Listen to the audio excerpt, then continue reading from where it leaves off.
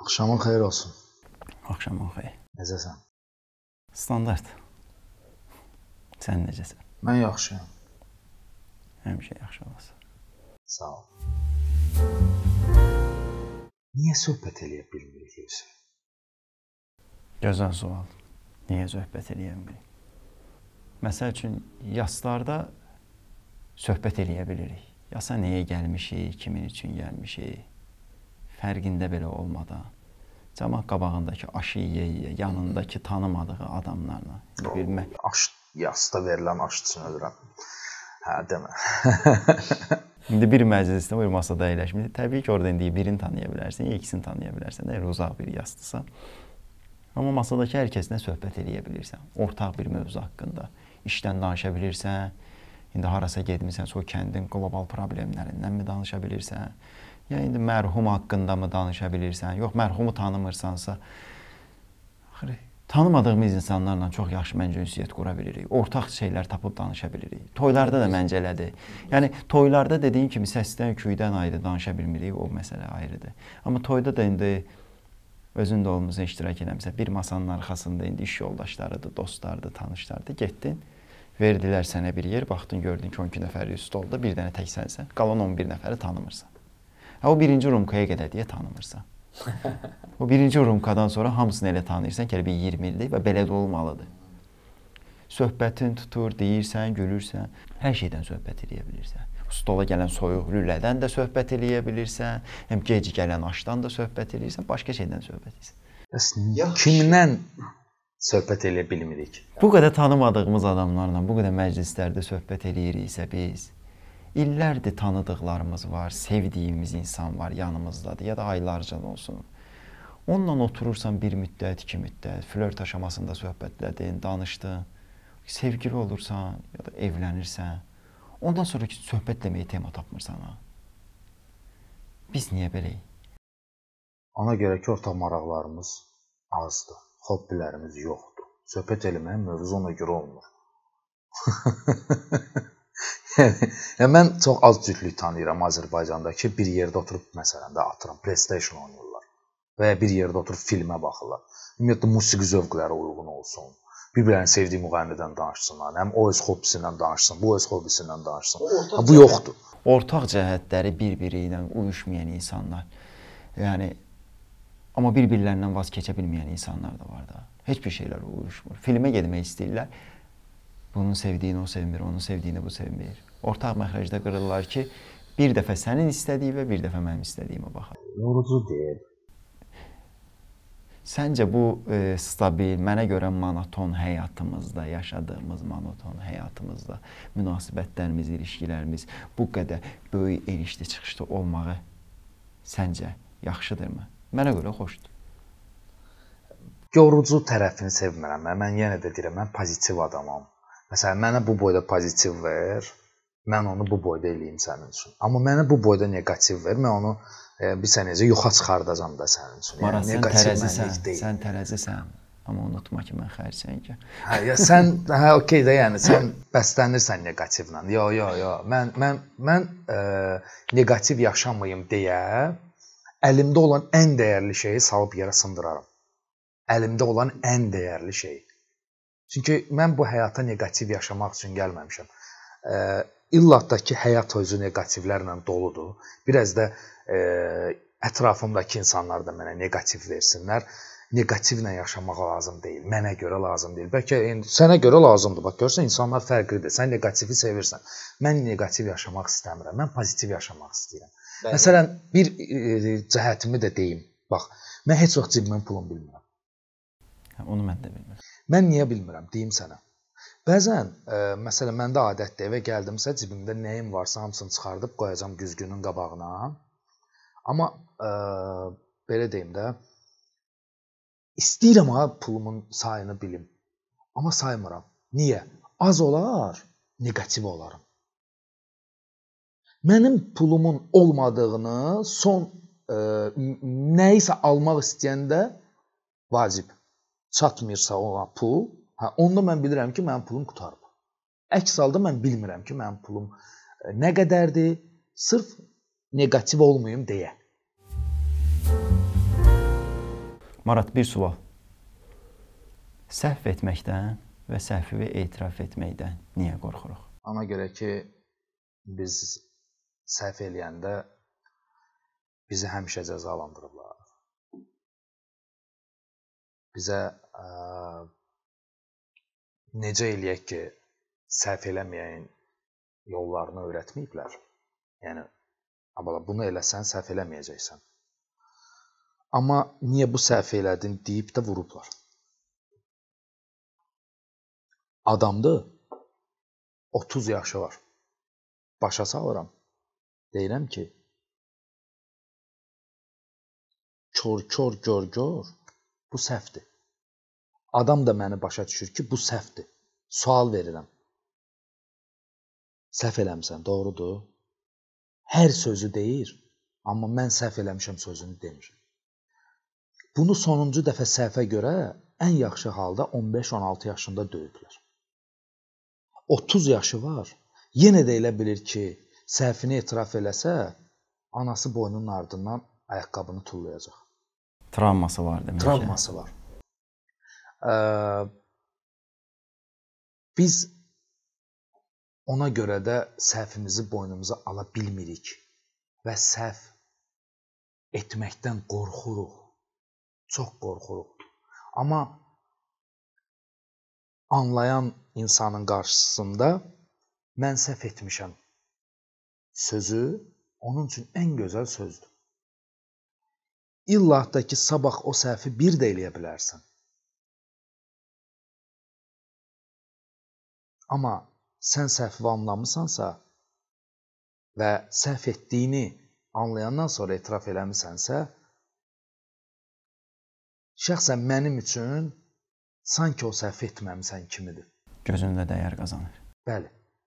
Ən dəyərli insan mənə görə səhv edib səhvini boynuna alan insan. Səhvini boynuna alan insandır. Amma ə, biz səhv etməkdən qorxuruq. Ona görə də öyrənmirik.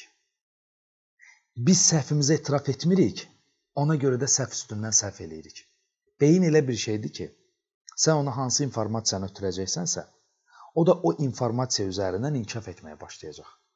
O e, informasiya üzərindən istiqamətlənməyə başlayacaq. Sən əgər özünə bunun səhv etdiyini etiraf etsən, özün özünə səhv olduğunu, bu atdığın addımın səhv olduğunu özün özünə etiraf etsən, sənin bir də o səhv etmə ehtimalın ən azından bu etiraf etdiyinə görə bir 50%-ə qədər azalacaq. Mən özüm özümlə söhbət edən adamam hər kəsdən çox özümü mühakimə edirəm. Bunu e, etməyə başlamışam təxminən 18-19 yaşından sonra. Bu gün 35 yaşım var. Bu gün onu daha çox şiddətli eləyirəm və demək olar ki, hər gün eləyirəm. Dəqiqələrlə, saatlarla çəkdiyi olur bu. Məsələn, iş görürəm.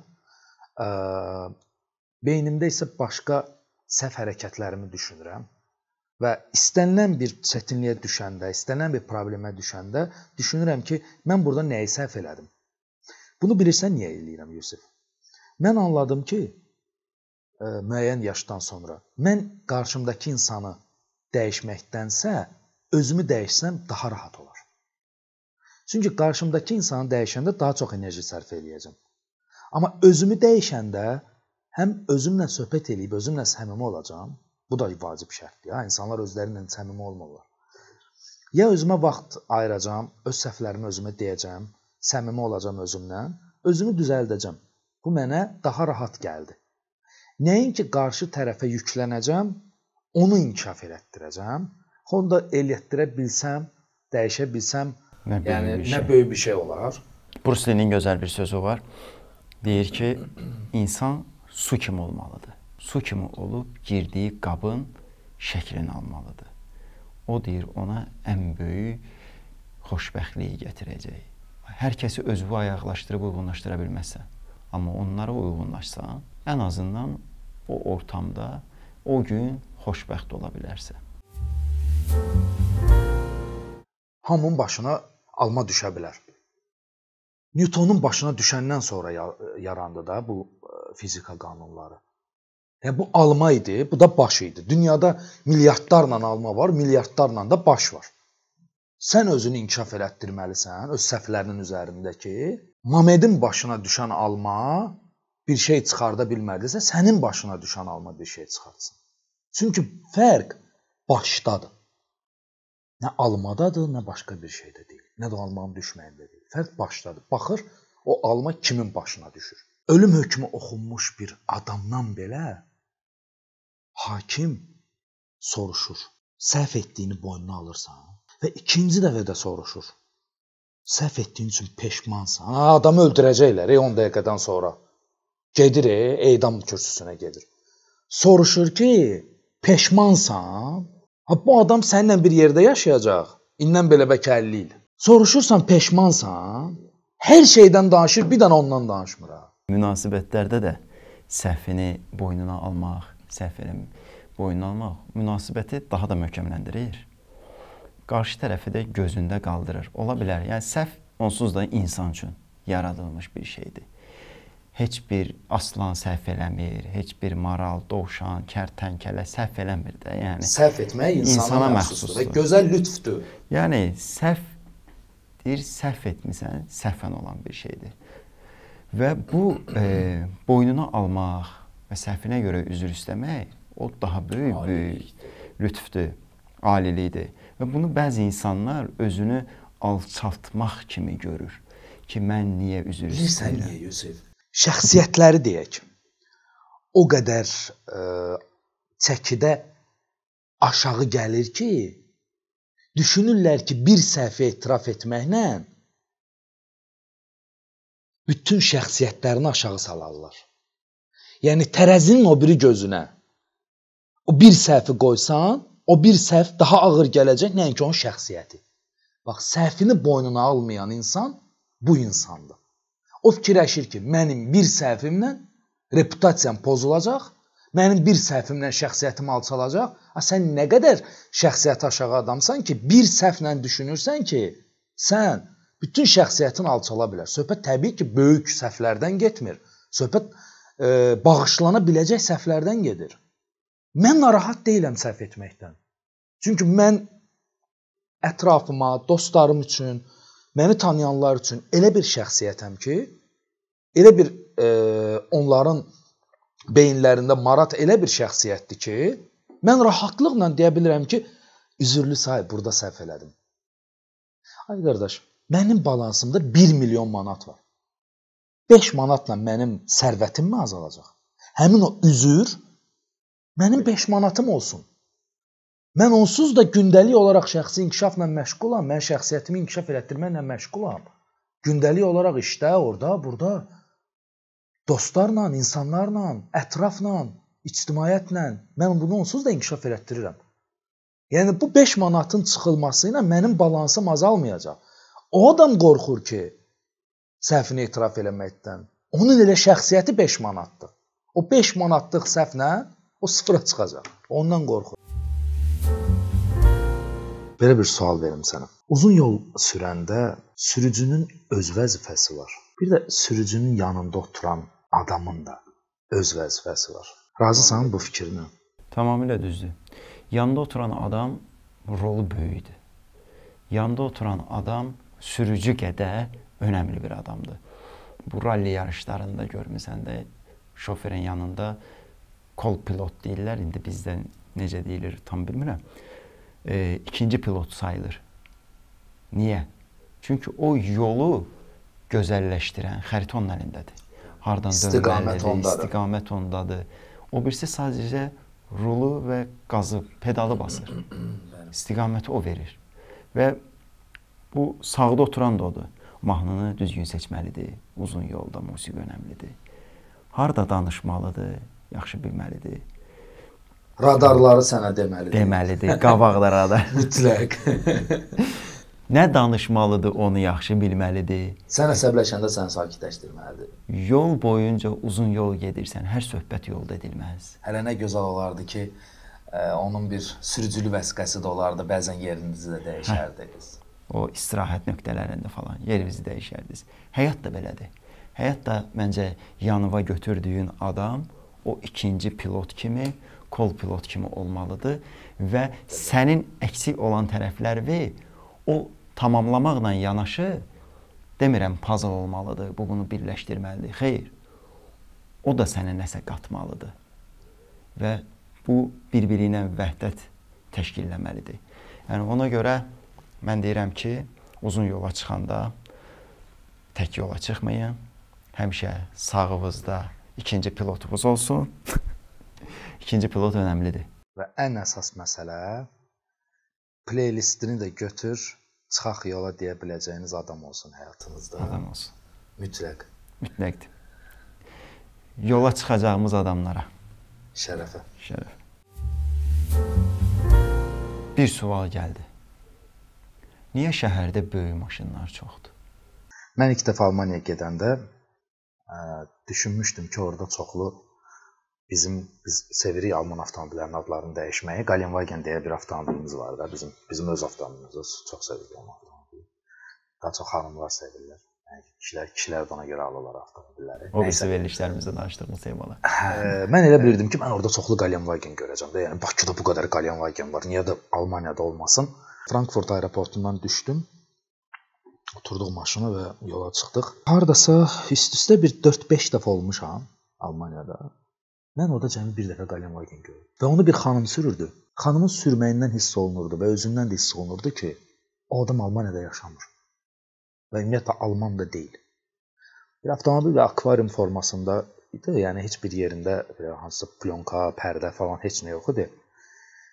Galenwagen də çox eybəcər görsənirdi və yaraşmırdı o Frankfurtun küçələrinə. Mən başa düşdüm ki, böyük avtomobillər kiçik insanlar üçündür. Böyük insanlar üçün deyil. İtaliyada olanda bir molda 3000 evroluq bir fiyatdan düşən ağsaqqal bir kişinin Louis Vuittondan 6 6 nə 6000 nə qədər evro idi? 6520 evro idi nə qədər idi? 7000 evroya özünə kostyum aldığını gördüm. Balaca bir fiyatdan, fiyat 500-dən düşüb 3000 evro idi. Maksimum İtaliyada o avtomobilin qiyməti 3000 evrolar.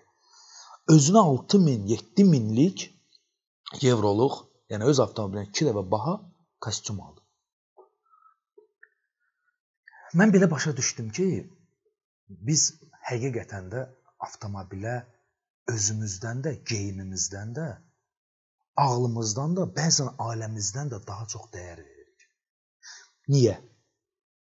Ə, biz geyimimizi kiməsə izah edə bilmirik də ki, bu Louis Vuittondandır, bu Gucci-dir, bu Versace-dir və yaxud da başqa-başqa markalardır, nə bilim, nədir. Amma avtomobil netdir Azərbaycanda. Bu Galenwagen-dir. Mən Galenwagen-in içində 20 manatlıq idman dəsti ilə otursam da, Sən imkanlısan. 500 manatlıq idman dəstəyinə otursan da Galenwagen artıq mənim haqqımda hər şeyi danışır. Bizim özümüz haqqında danışacaq heç nəyimiz olmayanda biz çox yekə avtomobillər sürürük və özümüz haqqında da yekə-yekə danışırıq.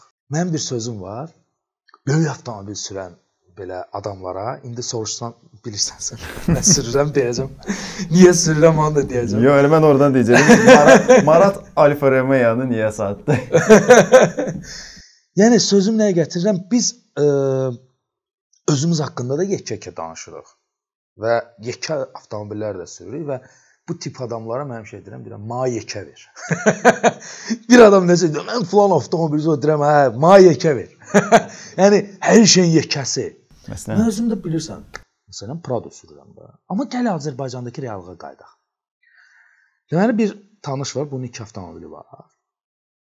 Biri sedandır, sport. Amma Azərbaycanlıların anlamadığı bir sedandır da, yəni e, qiyməti bilinmir. Belə bir avtomobildir.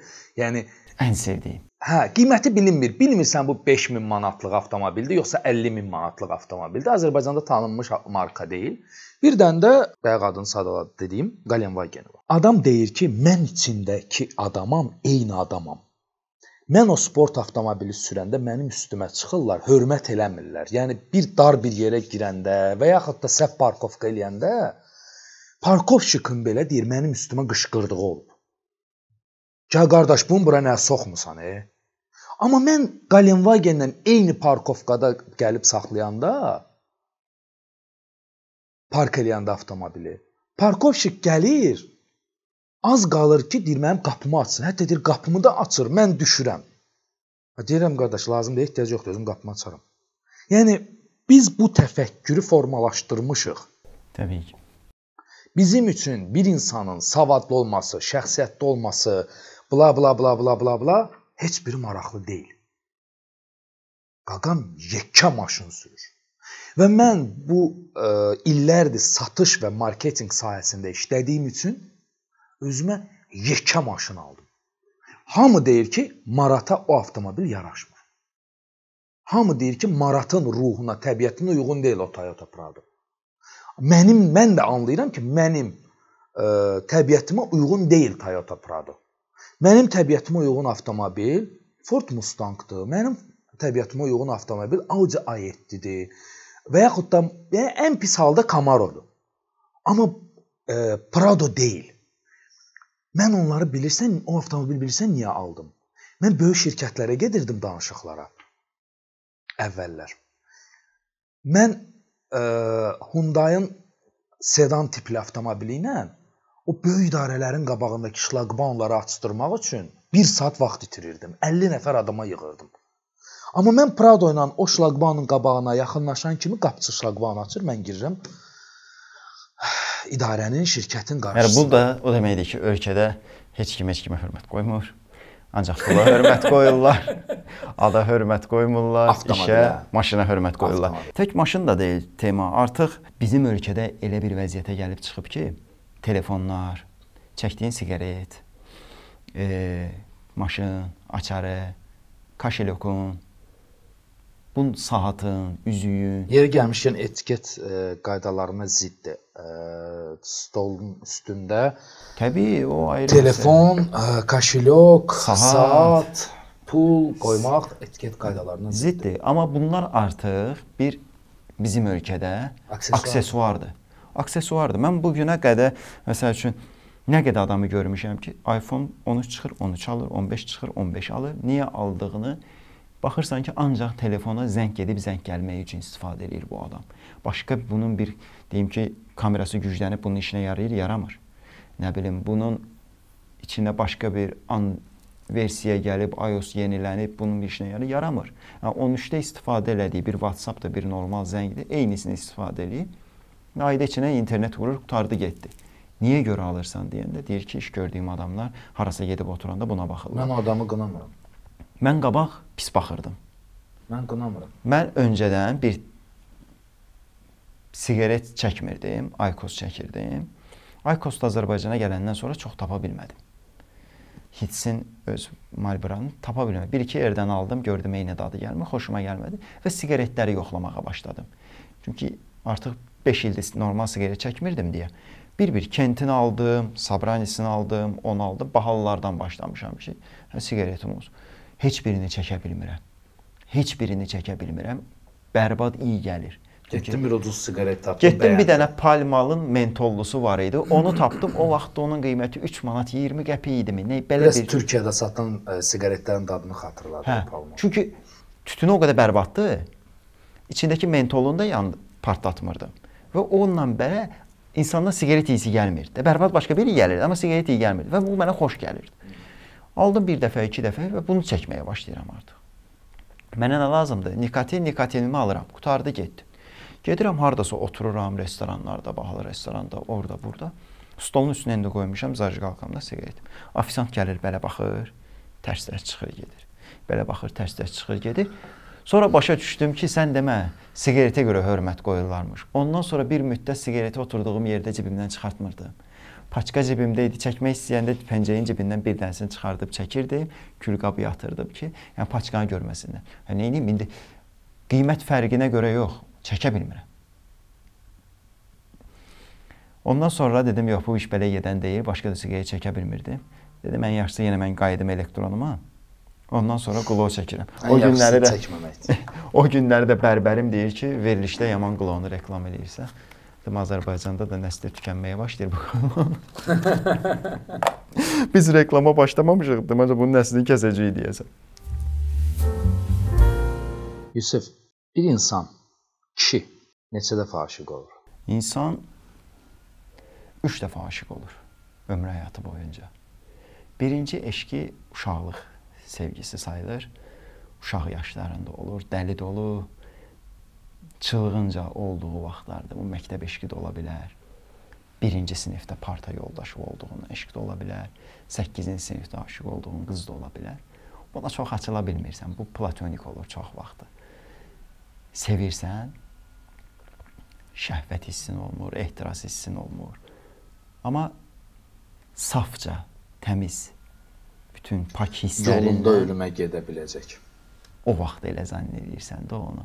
Mən hər gün döyüldüyüm vaxt olub uşaqlıq sevgisində.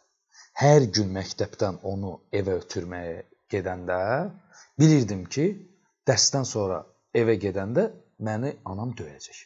Mən hər gün o adamı ötürürdüm evə və hər gün də evimizdə döyülürdüm.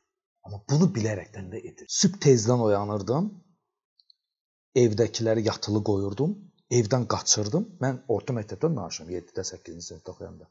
Və gəlib o məktəbin qarşısında bazar günləri idi. Məktəbin qarşısında dayanıb ağacın dibindən pəncərədən baxırdım. İki belə pərdənin arası idi bu belə. O da nə vaxt oradan görə bilərdim? Bu dəfə artıq o pianonun qarşısına çıxacaq, o oradan nəsə ifa edəcək və onda mən onu görəcəm. Yəni mən 1 saat orada dayanırdım ağacın altında soyuqda ki, iki pərdənin arasından 10 dəqiqəlik onu görə biləcəm. Həmin gün müəllim onu pianonun arxasına çağırmasaydı görməyəcəkdim. Çünki bilmirdim də, telefon da yox idi, mobil telefon da yox idi ki, mən öyrənim ki, bu günləri səni müəllim çıxardacaq, yəni dərs tapşırığı verib, bu günləri sən nəsə ifa edəcəksən orada. Yox. Və çıxanda da bilirdim ki, mən çıxana qədər evdəkilər oyanacaq və durub görəcəklər ki, mən yerimdə yoxam Çünki onun dərsi bitəndə artıq bizdə səhər-səhər evdəkilər oyanmış olurdu. Mən evə qayıdanda yenə döyülürdüm. Yəni uşaqlıq sevgisində sən həqiqətən də ölümə də gedə bilirsən. Çünki niyə? Düşüncə qabiliyyətin inkişaf etmiş olmur da, yəni. Heç nə aldırmırsan, heç nə vecivə olmur. Dediyim saf sevgi bax budur. Təmiz, saf sevgi. O 5 dəqiqə görə bilmək üçün, 3 dəqiqə görə bilmək üçün. Amma o sevgi bizi e, yetişdirir ha. Bəs nə? Ondan Sənin sonra bütün sevgilərin həmən sevgidən su almış bir güldür. Təməlini orada atırsan. Təməlini oradan atırsan. Necə sevə bilərsən? Bəli. Sonra gəlir ikinci sevgi. İkinci sevgi insan həyatındakı ən bərbad sevgidir. Ən böyük, ən bərbad olan eşqdir ki, toksik deyirlər ona. Davaların orada olur, əzabların, işgəncələrin bir-birinizə işgəncə verirsiniz, bir-birinizə şiddət göstərənlər mi deyim? Yəni bu da təxminən 20-li yaşlarda hə, hə. baş verir və dəli dolu, çılğın olduğunuz vaxtlar artıq ehtiras da var bu işin içində, şəhvət hissləri də var. Hər şeyin bir arada olduğu, amma həm də insanın şəxsiyyətinin formalaşdığı bir dövrdəsən. Bəli. Tam nə istədiyini də bəli, bilmirsən, bəli. amma bir şey istəmək istəyirsən bəli. və o anda adını qoya bilmədiyin eşq odur və sevgi də. Və insan o münasibətdə olduğu vaxtı o ilk eşqini unuda bilmir. Və o münasibəti ciddiləşdirmək lazım deyil. O münasibət heç vaxt ciddi olmursunuz. Mən ə, dostlarıma deyirəm hər zaman, e, yəni daha doğrusu məndən kiçik yaşda olanlara deyirəm hər zaman ki, deyirəm ə, çalışın xanımlara da deyirəm, bəylərə də deyirəm, 25 yaşına qədər ailə qurmayın. Çünki həmin o toksik münasibət insanın 20 yaşından təxminən 24 yaşına qədər olan bir dönəmdə olur. Həmin anda sən ailə qurdunsa, yəni o ailənin yaşama riski çox aşağıdır. Və e, ailə olduğuna görə, övlad olduğuna görə də münasibət uzanır, o şiddətin e, miqyası da böyüyür. Yəni çox çətindir. Böyük dərsdir. Amma çox çətindir. İnsan ikinci eşqində aşiq olduq dediyi anda həyatın ən böyük dərslərini alır. Bəli. Sevgidə nəyi edib, nəyi etməməlidir, özünü necə rəftar etməlidir, özünü necə aparmalıdır, necə davranmalıdır, onu öyrənir. Ondan sonra gəlir üçüncü eşq. üçüncü dəfə insan aşiq olur. Ha, bu gözəldir ya. O artıq alilik dərəcəsinə gəlib çatan bir insandır. Mən zövq Qarşı alıram. tərəfdəki insanda əgər elə birini tapıbsa Bəli. və istəmirsən həyatında artıq heç kim olsun və bir anda bilmədən necə gəlir girir həyatıma, necə həyatının ortasında bitir, necə həyatıma yön verdiyini görürsən. Qəşəngdir. Və Məncə sən də bu dəqiqə yaşayırsan o üçüncü E, təbii ki. Təbii Mən ki. də yaşayıram və həqiqətən gözəldir. çox gözəldir Çox və gözəldir. insan yəni nə istədiyini bildiyi halda və yeni üfüqü genişlənir. İnsan yeni-yeni şeylər öyrənməyə də açılır. Həyatını daha pərvasız, daha düzənsiz yaşamaq hissi də o anda gəlir. Artıq bilir ki, hər şey ipi öz əlindədir və hansı anda o ipi rahat buraxa bilər, hansı anda yığa bilər. Bir də burada bir xırda nüans var Yusif. Bax, birinci ə, sevgindən də çox danışa bilərsən. İkinci sevgindən də çox danışa bilərsən o toksik münasibətdən. Üçüncü sevgini danışa bilmirsən, yaşayırsan ancaq. Keçən dəfələrdə mənə bir sual verdilər ki, nəyini sevirsən? Oturdum, düşündüm, düşündüm. Tapa bildin? Tapa bilmədim. Dedim, nəyini və niyə sevdiyimi Bir gözəl Anlamıram. şairin bir sözü var. e, Səhv etmirəmsə Nüsrət Kəsəmənlinin misrasıdır. Deyir: "Nəyimi sevmişdin deyə bilmədim. İndi isə minəyib görürsən məndə." Bax o ə, ikinci münasibətə aiddir. Ya, yeri gəlmişkən toksik münasibətə aiddir bax o misralar. Bəli, Çox həqiqətən də nəyi saniyə. sevirsən, nəyini sevirsən bilmirsən, amma sevirsən özdə çox sevirsən də, yəni. sevgi elə bir şeydir ki, Marat, insan qarşılıq gözləyir. Mən səni sevirəm, sən də məni sevməlisən. Verdiyin qədərini ala bilərsən. Gözünə görə sevir. Ağıllı adamdır. Sən verdiyin qədəri mən sənə nə verirəmsə, səndən də onu gözləyirəm, qarşılıq gözləyirəm. Bunun adı da sevgi. Bir gül yetişdirir insan sevəndə və ona nə qədər su töksən, o qədər o böyüyəcək, çiçək açacaq, daha da gözəlləşəcək. Və qarşılıq görməyəndə və bir müddət sonra insan soyuyur, geri çəkilir.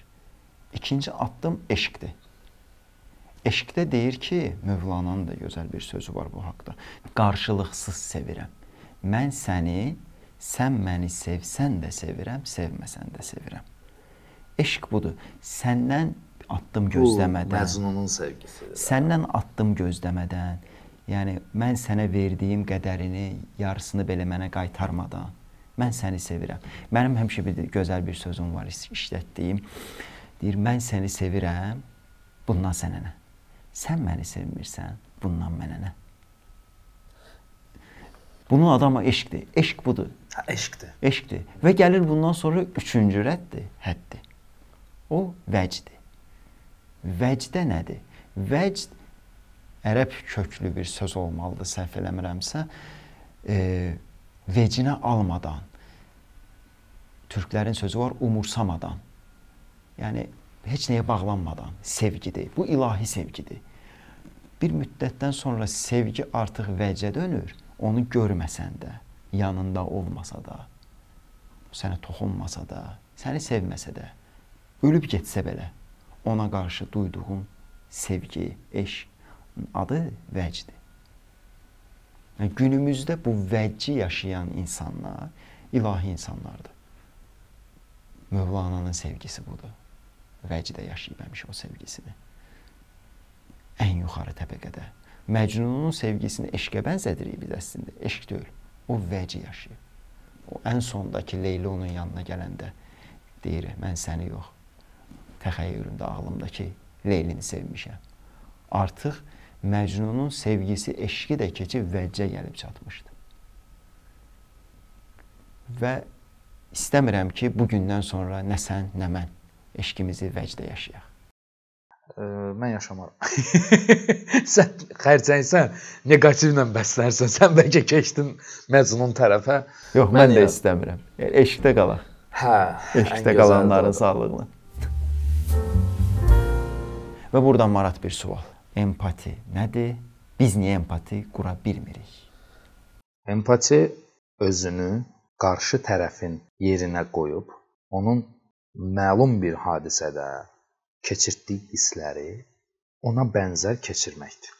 Keçirə bilməkdir. Empati bir insanı anlamaq üçün, yaxşı anlamaq üçün 3D formatında anlamaq üçün, 4K görüntüsündə anlamaq üçün sənə lazım olan bir alətdir. Çox təəssüflər olsun ki, Azərbaycanda empati hissi əksər insanlarda yoxdur. Bunun da iki səbəbi var. Ümumiyyətlə empati hissinin güclü olduğu insanlar həyatlarını rəngarəng yaşamış insanlardır. Həyatlarını rəngarəng yaşayan insanlar deyəndə təəssüf ki, insanlar nədənsə bütün günü deyən, gülən, səyahət edən, nə bilim hayla, küylə həyatını keçirən insanlardan insanları başa düşürlər. Belə deyil. Loro dilində desək, istiyə soyuğa düşmüş insanlardır. Rəngarəng insanlar həm bədbəxtliyi, həm xoşbəxtliyi yaşayan insanlar. Bərkdən boşdan çıxmış adamlar. Və müəyyən hadisələr baş verir insanın həyatında ki, insan ə, hadisələri ruhuna hopdurur. O hadisələrin bir çoxu ilə tanış olur və qarşındakı insan o hadisədə hal-hazırda mənim olduğum hadisədə başını çartladır orada özünü yormağa başlayır və mən başa düşürəm ki, ayda mən də burada olmuşam. Yusuf bir e, qısa bir hadisə danışacağam. Bu yaxınlarda e, rəhmətli atamın qəbri üstünə getmişdim. Allah rəhmət eləsin. Ölənlərin rəhmətlik. Ha, mənim atam 31 yaşında həyatını itirib, mən 35 yaşındayam hal-hazırda. 30 ildir mən o qəbirstanlığa gedib gəlirəm ildə 5 5 dəfə, 6 dəfə. Həmişə mən ora gedəndə atam məndən yaşlı, yaşlı görsənirdi. Bu dəfə mən gedəndə gördüm ki, mən daha yaşlı görsənirəm və o cavandır. Bir anlıq düşündüm ki, mən 15 ildən sonra 50 yaşım olanda o qəbirstanlığa gedəndə mən artıq fərqli hisslər keçirdəcəm. Mən artıq bir atanın yox, sanki oğlumun qəbrinin üstünə getmiş olacam. Mən atama çox bənzəyirəm. Təsəvvür et ki, mən 50 yaşında atamın qəbrinin üstünə gedəndə atamdan 19 yaş böyük olacam. Və sözü nəyə gətirirəm? Mən orada qısa da olsa oxşar bir hiss yaşayacağam. Oğlunu torpağa bastırmış atanın hissini yaşayacağam. Çünki mən artıq ondan 4 yaş böyüyəm, mən o hissi o gün yaşadım. Qısa bir bir həftə bundan öncə getmişdim. Mən baxdım ki, mənim üzümdə qırışlar var. Mən artıq qocalıram, saçım tökülür, yaşımın üstünə yaş gəlir.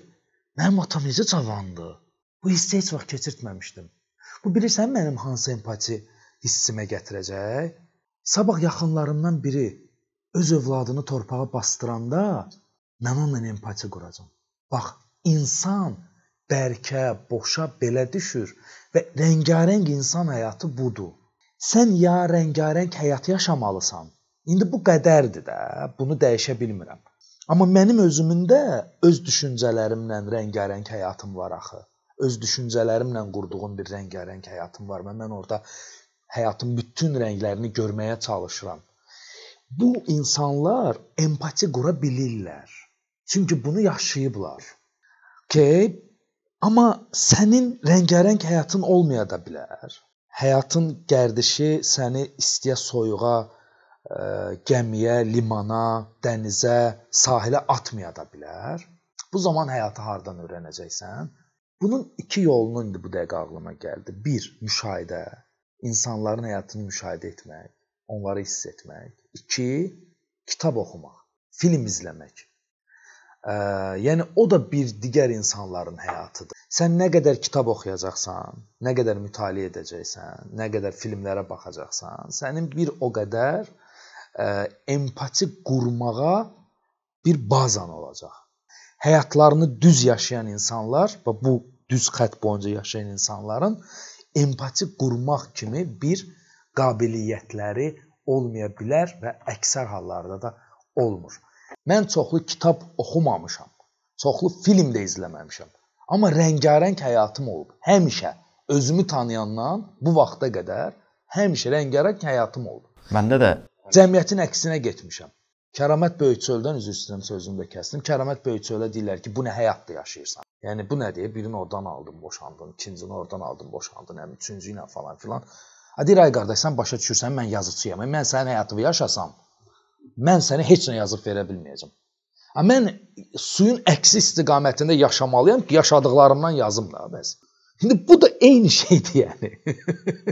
Bürcümdən dolayı xərçənglər də biraz daha çox empati. Yəni empat deyirlər, əslində empat adamlardılar.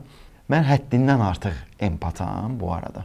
Yəni elə bir situasiyada elə bir insana haqq verə bilirəm ki, axırda özümü orada səhv çıxartsam belə, amma yenə də o haqqı ona verəcəm. Xərçənglər sevə-sevə belə yanlarında olduğum, sevə-sevə belə belə deyim də qanadının altında olduğum, amma məni ən çox da yoran bücdərdir də.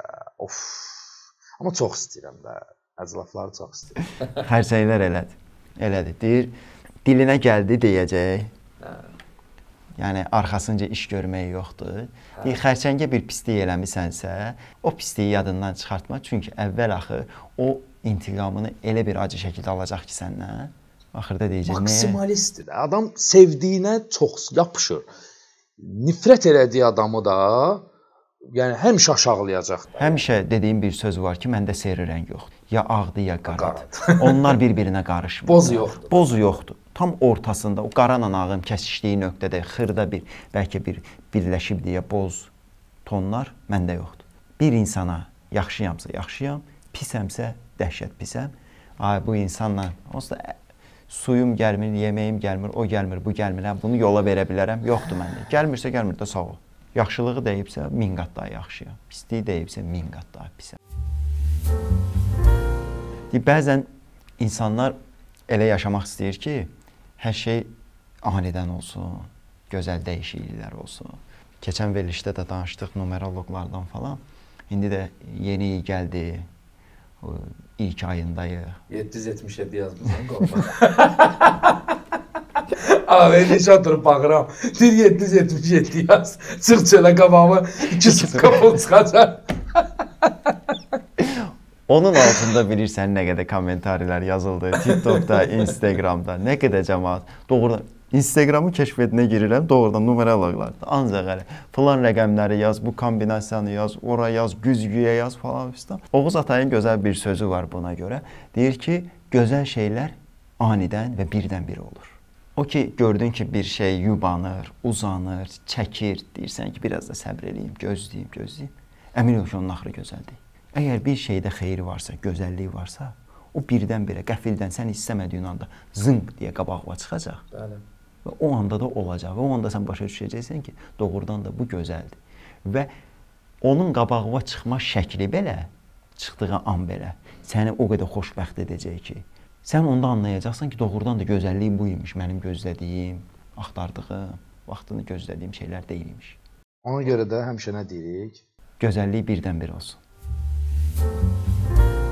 Bir sual. Şalvarın altından finka geyinmək. Necə baxırsan? Kişilərdə. Şalvarın şalvarın altından pinjama geyinən kişinin bir dənə 100%lıq bir hərəkəti var. 100% onu eləmir. Nə? Xəyanət. Tam da onu deyəcəydim. Çünki deyir, əgər tam əmin ola bilərsən.